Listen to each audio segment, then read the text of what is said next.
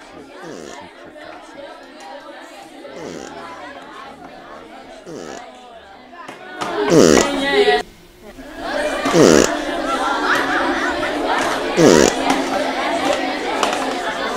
I am at the Cheese Grater Museum, and once again I am let down with the lack of innovation and creativity in the graters.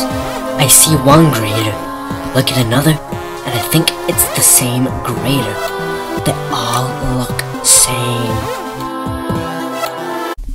I don't just want the cheese grater, I want the cheese greatest.